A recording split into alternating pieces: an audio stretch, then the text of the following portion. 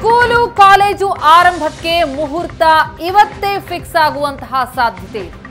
ವಿದ್ಯಾಗಮ ಪುನರಾರಂಭದ ಬೆನ್ನಲ್ಲೇ school open ಮಾಡೋದಕ್ಕೆ ಚಿಂತನೆ ನಡೆದಿದ್ದು, ಮಕ್ಕಳ ಹಿತದೃಷ್ಟಿಯ ಆಧಾರದ ಮೇಲೆ ಶಾಲೆಯ ಭವಿಷ್ಯ ಇವತ್ತು ನಿರ್ಧಾರವಾಗುವಂತಹ ಸಾಧ್ಯತೆ ಇದೆ. ಯಾಕಂದ್ರೆ ಇವತ್ತು ಸಿಎಂ ಯಡಿಯೂರಪ್ಪ ನೇತೃತ್ವದಲ್ಲಿ ಮಹತ್ವದ ಸಭೆ ನಡೆಯುತ್ತೆ. ಗೃಹ ಕಚೇರಿ ಕೃಷ್ಣಾದಲ್ಲಿ ಸಭೆ ನಡೆಯಲಿದೆ. ಮಧ್ಯಾಹ್ನ ಹನ್ನೆರಡು ಮೂವತ್ತಕ್ಕೆ ಸಿಎಂ ಮೀಟಿಂಗ್.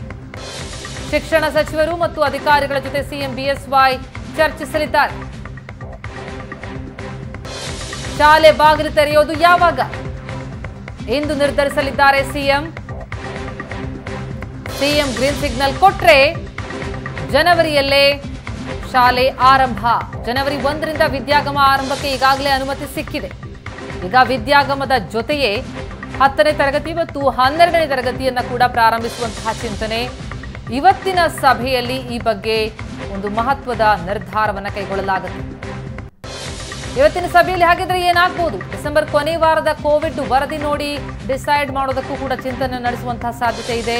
ಕೊರೋನಾ ಕೇಸ್ ಇಳಿಕೆಯಾದ್ರೆ ಸ್ಕೂಲ್ ತೆರೆಯೋದಕ್ಕೆ ಅದು ಬಹಳ ಅನುಕೂಲಕರ ವಾತಾವರಣ ಆಗುತ್ತೆ. ಹಾಗಾಗಿ ಮೊದಲಿಗೆ ಹತ್ತು ಹನ್ನೆರಡನೇ ಕ್ಲಾಸ್, ಒಂಬತ್ತರಿಂದ ಹನ್ನೆರಡನೇ ಕ್ಲಾಸ್ಗಳನ್ನು ಆರಂಭಿಸ್ತಾರ? ಅಥವಾ ಕೇವಲ ಹತ್ತು ಮತ್ತು ಹನ್ನೆರಡನೇ ತರಗತಿಯನ್ನು ಮಾತ್ರ ಆರಂಭಿಸಲಾಗುತ್ತಾ? ಈ ತರಗತಿಗಳನ್ನ ಆರಂಭಿಸಿದ ಮೇಲೆ ಪರಿಸ್ಥಿತಿಯನ್ನು ನೋಡಿಕೊಂಡು ಒಂದರಿಂದ ಒಂಬತ್ತನೇ ತರಗತಿಯವರೆಗಿನ ಶಾಲೆಯನ್ನ ಯಾವಾಗ ತೆರೆಯೋದು ಅನ್ನೋದ್ರ ಬಗ್ಗೆ ಚಿಂತನೆ ನಡೆಸುವಂಥದ್ದು. ಸುರಕ್ಷತಾ ಕ್ರಮಗಳೊಂದಿಗೆ ಶಾಲೆ ಆರಂಭಕ್ಕೆ ಅನುಮತಿ. ವಿದ್ಯಾಗಮದ ಜೊತೆ ಶಾಲೆ ಕೂಡ ಶುರುವಾಗಬಹುದು. ಇವತ್ತಿನ ಸಭೆಯಲ್ಲಿ ವಿಸ್ತೃತವಾಗಿ ಚರ್ಚಿಸಲಾಗುತ್ತೆ.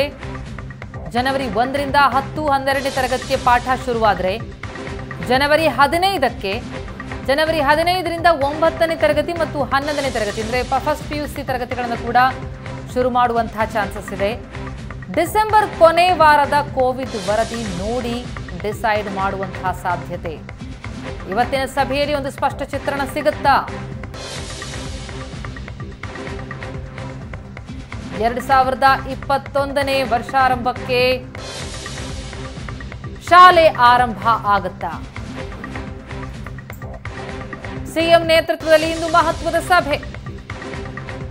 ಆ ಸಭೆಯಲ್ಲಿ ಚರ್ಚಿಸಿ ಸಿಎಂ ಒಂದು ಸ್ಪಷ್ಟ ನಿರ್ಧಾರಕ್ಕೆ ಬರಲಿದ್ದಾರೆ. ಸಿಎಂ ಗ್ರೀನ್ ಸಿಗ್ನಲ್ ಕೊಟ್ರೆ ಶಾಲೆ ಬಾಗಿಲು ತೆರೆಯಲಿದೆ ಹೊಸ ವರ್ಷಕ್ಕೆ. ಈಗಾಗಲೇ ವಿದ್ಯಾಗಮ ಆರಂಭಿಸೋದಕ್ಕೆ ಅನುಮತಿ ಸಿಕ್ಕಿದ್ದು ವಿದ್ಯಾಗಮದ ಜೊತೆಯೇ ಶಾಲೆಯು ಶುರುವಾಗಬಹುದಾ ಹಾಗಿದ್ರೆ ಬೋರ್ಡ್ ಎಕ್ಸಾಮ್ ಇರುವಂತಹ ಎಸ್ ಎಲ್ ಸಿ ಮತ್ತು ದ್ವಿತೀಯ ಪಿಯುಸಿಗೆ ತರಗತಿ ಮೊದಲಿಗೆ ಶುರು ಮಾಡುವಂತಹ ಚಿಂತನೆ. ಎಸ್ ಬಗ್ಗೆ ಇನ್ನಷ್ಟು ಡೀಟೇಲ್ಸ್ ಪಡೆಯೋಣ. ನಮ್ಮ ರಿಪೋರ್ಟರ್ ನಂದೀಶ್ ಈಗ ಸಂಪರ್ಕದಲ್ಲಿದ್ದಾರೆ. ನಂದೀಶ್, ಡಿಸೆಂಬರ್ ಕೊನೆ ವಾರದಲ್ಲಿ ಶಾಲೆ ಬಾಗಿಲು ತೆರೆಯೋದು ಯಾವಾಗ ಅನ್ನೋದ್ರ ಬಗ್ಗೆ ನಾವು ಮತ್ತೊಮ್ಮೆ ಸಭೆ ಸೇರ್ತೀವಿ, ಡಿಸೈಡ್ ಮಾಡ್ತೀವಿ ಅಂತ ಈ ಹಿಂದೆ ಎಸ್ ಸಿ ಎಂ ಹೇಳಿದ್ರು. ಅಂತೆಯೇ ಇವತ್ತು ನಡೆಸಲಿರುವಂತಹ ಸಭೆ ಈ ಎಲ್ಲ ಪ್ರಶ್ನೆಗಳಿಗೂ ಯಾವಾಗ ಶಾಲೆ ಆರಂಭ ಅನ್ನುವಂತಹ ಗೊಂದಲಕ್ಕೆ ಉತ್ತರ ಕೊಡುತ್ತಾ? ಪ್ರತಿಮಾ ಏನಂತಂದ್ರೆ ಈಗ ರಾಜ್ಯದಲ್ಲಿ ಶಾಲೆಗಳನ್ನ ಪ್ರಾರಂಭಿಸುವ ವಿಚಾರವಾಗಿ ಕಳೆದ ತಿಂಗಳು ಕೋವಿಡ್ ನೈನ್ಟೀನ್ ತಾಂತ್ರಿಕ ಸಲಹಾ ಸಮಿತಿ ಜೊತೆ ಶಿಕ್ಷಣ ಇಲಾಖೆಯ ಅಧಿಕಾರಿಗಳು ಹಾಗೂ ಸಚಿವರು ಸಭೆಯನ್ನ ನಡೆಸಿದ್ರು. ಆ ಸಂದರ್ಭದಲ್ಲಿ ಹೇಳಿದ್ರು, ಡಿಸೆಂಬರ್ ಮೂರನೇ ವಾರದಲ್ಲಿ ಅಥವಾ ಎರಡನೇ ವಾರದಲ್ಲಿ ನಾವು ಸಭೆಯನ್ನ ಸೇರಿ ಅಂತಿಮವಾದಂತಹ ಒಂದು ನಿರ್ಧಾರಕ್ಕೆ ಬರ್ತೇವೆ ಅನ್ನುವಂಥದ್ದು. ಅದೇ ಮಾದರಿಯಲ್ಲಿ ಈಗ ಅಂತಿಮವಾಗಿ ಕೋವಿಡ್ ನೈನ್ಟೀನ್ ತಾಂತ್ರಿಕ ಸಲಹಾ ಸಮಿತಿ ಜೊತೆ ಈಗಾಗಲೇ ಶಿಕ್ಷಣ ಇಲಾಖೆ ಅಧಿಕಾರಿಗಳು ಹಾಗೂ ಸಚಿವರು ಸಭೆಯನ್ನ ನಡೆಸಿದ್ದಾರೆ. ಜೊತೆಗೆ ಆರೋಗ್ಯ ಇಲಾಖೆಯಿಂದಲೂ ಕೂಡ ಸಭೆಗಳನ್ನು ನಡೆಸಿ ರಾಜ್ಯದಲ್ಲಿ ಶಾಲೆಗಳನ್ನ ಯಾವಾಗಿಂದ ಪ್ರಾರಂಭ ಮಾಡಬಹುದು ಅನ್ನುವಂಥದ್ದು ಒಂದು ಸಮಗ್ರವಾಗಿ ಎಸ್ಒಪಿಯನ್ನ ಈಗಾಗಲೇ ಶಿಕ್ಷಣ ಇಲಾಖೆಗೆ ಕೊಟ್ಟಿರ್ತಕ್ಕಂಥದ್ದು. ಇದೇ ಮಾದರಿಯಲ್ಲಿ ಇವತ್ತು ಮುಖ್ಯಮಂತ್ರಿಗಳ ಜೊತೆ ಅಂತಿಮವಾದಂತಹ ಒಂದು ಸಭೆಯನ್ನು ನಡೆಸಿ ರಾಜ್ಯದಲ್ಲಿ ಶಾಲೆಗಳನ್ನ ಪ್ರಾರಂಭ ಮಾಡುವ ವಿಚಾರವಾಗಿ ಇವತ್ತು ದಿನಾಂಕ ಘೋಷಣೆ ಮಾಡ್ತಾರೆ. ಆದ್ರೆ ಮೊದಲ ಹಂತದಲ್ಲಿ ಈಗ ಪಬ್ಲಿಕ್ ಎಕ್ಸಾಮ್ ಇರೋ ಹಿನ್ನೆಲೆಯಲ್ಲಿ ಹತ್ತು ಹಾಗೂ ಹನ್ನೆರಡನೇ ತರಗತಿಗಳನ್ನ ಪ್ರಾರಂಭ ಮಾಡೋದಕ್ಕೆ ಈಗಾಗಲೇ ಕೋವಿಡ್ ನೈನ್ಟೀನ್ ಟೆಕ್ನಿಕಲ್ ಅಡ್ವೈಸರಿ ಕಮಿಟಿಯಿಂದಲೂ ಕೂಡ ಗ್ರೀನ್ ಸಿಗ್ನಲ್ ಅನ್ನು ಸಿಕ್ಕಿದೆ. ಹೀಗಾಗಿ ಇದೇ ಜನವರಿ ಮೊದಲ ವಾರದಲ್ಲಿ ಬಹುತೇಕ ಹತ್ತು ಹಾಗೂ ಹನ್ನೆರಡನೇ ತರಗತಿಗಳು ಜನವರಿ ಒಂದರಿಂದನೇ ಪ್ರಾರಂಭ ಆಗ್ತವೆ ಅನ್ನುವಂಥದ್ದು ಒಂದು ಮಾಹಿತಿ ಸಿಕ್- ಸಿಕ್ಕಿದೆ. ಇದರ ಜೊತೆಗೆ ಏನಂತಂದ್ರೆ ಉಳಿದ ತರಗತಿಗಳು ಯಾವಾಗ ಪ್ರಾರಂಭ ಮಾಡಬೇಕು, ಯಾವ ಮಾದರಿಯಲ್ಲಿ ಇರಬೇಕು ಅನ್ನುವಂಥದ್ದು ಈಗಾಗಲೇ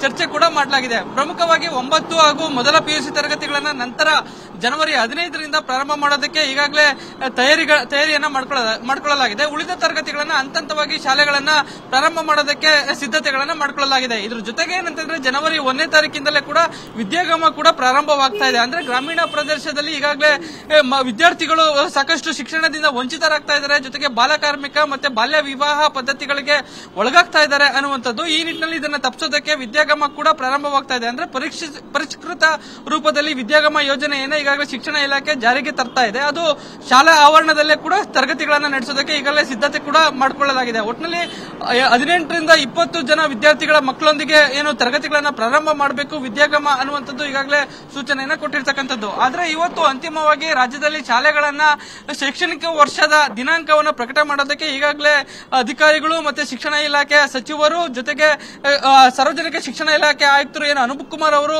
ಒಂದು ಸಭೆಗಳನ್ನ ನಡೆಸಿದ್ರು, ಪೋಷಕರು, ಎಸ್ಡಿಎಂಸಿ ಸದಸ್ಯರು ಮತ್ತೆ ಖಾಸಗಿ ಶಾಲಾ ಒಕ್ಕೂಟದ ಪ್ರತಿನಿಧಿಗಳ ಜೊತೆ ಏನು ಸಭೆಯನ್ನ ನಡೆಸಿದ್ರು. ಅದು ಸಮಗ್ರವಾದಂತಹ ರಿಪೋರ್ಟ್ ಕೂಡ ವರದಿಯನ್ನ ಸಲ್ಲಿಸಲಾಗಿದೆ. ಹೀಗಾಗಿ ಆ ವರದಿ ಕೂಡ ಈಗಾಗಲೇ ಚರ್ಚೆಗೆ ಬರುವಂತ ಸಾಧ್ಯತೆ ಇದೆ. ಯಾಕೆಂತಂದ್ರೆ ಈಗಾಗಲೇ ಎಂಟೊಂಬತ್ತು ರಾಜ್ಯಗಳಲ್ಲಿ ಈಗಾಗಲೇ ಶಾಲಾ ಕಾಲೇಜುಗಳು ಪ್ರಾರಂಭ ಆಗಿ ಒಂದು ತಿಂಗಳು ಕಳೆದಿದೆ. ಆದ್ರೆ ರಾಜ್ಯದಲ್ಲಿ ಇದುವರೆಗೂ ಕೂಡ ತರಗತಿಗಳಾಗಿರ್ಬೋದು, ಶಾಲೆಗಳಾಗಿರ್ಬೋದು ಯಾವುದೂ ಕೂಡ ಶೈಕ್ಷಣಿಕ ಚಟುವಟಿಕೆಗಳು ನಡೀತಾ ಇಲ್ಲ. ಹಾಗಾಗಿ ನಮ್ಮ ರಾಜ್ಯದಲ್ಲಿ ಸೂಕ್ತವಾಗಿ, ಸೂಕ್ತ ಸಂದರ್ಭ ಇದು. ಶಾಲೆಗಳನ್ನು ಪ್ರಾರಂಭ ಮಾಡೋದಕ್ಕೆ ಅನ್ನುವಂಥದ್ದು ಕೂಡ ಒಂದು ರಿಪೋರ್ಟ್ ಸರ್ಕಾರಕ್ಕೆ ಸಲ್ಲಿಸಿರುವಂತಹದ್ದು ಹೇಳಲಾಗಿದೆ. ಹೀಗಾಗಿ ಅಂತಿಮವಾಗಿ ರಾಜ್ಯದಲ್ಲಿ ಇವತ್ತು ದಿನಾಂಕ ಘೋಷಣೆ ಮಾಡ್ತಾರೆ. ಮುಖ್ಯಮಂತ್ರಿ ಬಿ ಎಸ್ ಯಡಿಯೂರಪ್ಪನವರು ಒಂದು ದಿನಾಂಕವನ್ನು ಘೋಷಣೆ ಮಾಡ್ತಾರೆ. ಆ ಪ್ರಕಾರ ಜನವರಿ ಇಂದಲೇ ಒಂದು ತರಗತಿಗಳು, ಶಾಲೆಗಳು ಮತ್ತೆ ಕಾಲೇಜುಗಳು ಅಧಿಕೃತವಾಗಿ ಶೈಕ್ಷಣಿಕ ಚಟುವಟಿಕೆಗಳು ಪ್ರಾರಂಭ ಆಗ್ತವೆ, ಪ್ರತಿಮಾ.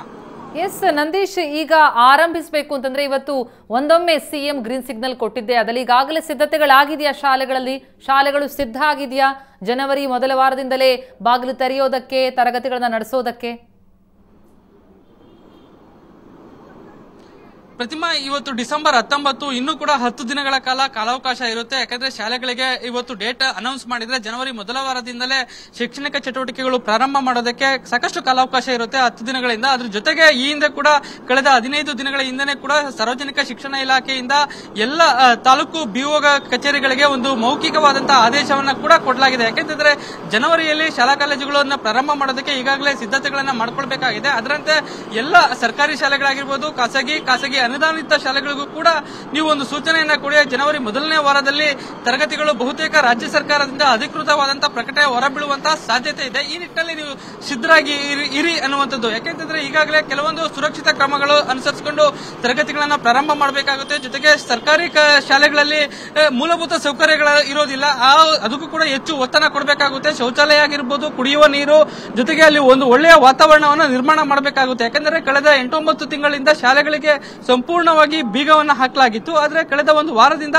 ಎಲ್ಲವೂ ಕೂಡ ಸಿದ್ಧತೆಗಳನ್ನ ಮಾಡಿಕೊಳ್ಳಲಾಗಿದೆ ಅನ್ನುವಂತ ಮಾತನ್ನ ಈಗಾಗಲೇ ಅಧಿಕಾರಿಗಳು ಹೇಳ್ತಾ ಇದ್ದಾರೆ. ಹಾಗಾಗಿ ಒಂದು ಒಟ್ಟಿನಲ್ಲಿ ಇವತ್ತು ಮುಖ್ಯಮಂತ್ರಿಗಳು ಒಂದು ವೇಳೆ ರಾಜ್ಯದಲ್ಲಿ ಶೈಕ್ಷಣಿಕ ವರ್ಷದ ದಿನಾಂಕ ಘೋಷಣೆ ಮಾಡಿದ್ರೆ, ಒಂದು ವೇಳೆ ಈಗಾಗಲೇ ತಯಾರಿಗಳು, ತಯಾರಿಯನ್ನು ಮಾಡ್ಕೊಂಡಿದ್ದೇವೆ ಅನ್ನುವಂತ ಮಾತನ್ನ ಈಗಾಗಲೇ ಹೇಳಿದ್ದಾರೆ. ಸ್ಪಷ್ಟವಾಗಿ ಹೀಗಾಗಿ ದಿನಾಂಕ ಪ್ರಕಟ ಆದರೂ ಕೂಡ ಹತ್ತು ದಿನಗಳ ಕಾಲ ಕಾಲಾವಕಾಶ ಇರುತ್ತೆ. ಜನವರಿ ಮೊದಲ ವಾರದಿಂದಲೇ ಪ್ರಾರಂಭ ಮಾಡ್ಕೊಳ್ಳೋದಕ್ಕೆ ಹೀಗಾಗಿ ಸಂಪೂರ್ಣವಾಗಿ ಈಗ ಶಿಕ್ಷಣ ಇಲಾಖೆ ಕೂಡ ಒಂದು ರೀತಿ ತರಗತಿಗಳು ಶಾಲೆಗಳನ್ನು ಶಾಲೆಗಳನ್ನ ಪ್ರಾರಂಭ ಪ್ರಾರಂಭ ಮಾಡೋದಕ್ಕೆ ಸಿದ್ಧತೆಯನ್ನ ತೊಡಗಿಕೊಂಡಿದೆ Prathima.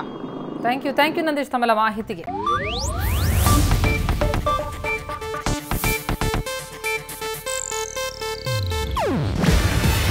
ಇದು ಏಷ್ಯಾನೆಟ್ ನ್ಯೂಸ್ ನೆಟ್ವರ್ಕ್ ಪ್ರಸ್ತುತಿ. ನೀವು ನೋಡ್ತಿದ್ದೀರಾ ಏಷ್ಯಾ ನೆಟ್ ಸುವರ್ಣ ನ್ಯೂಸ್.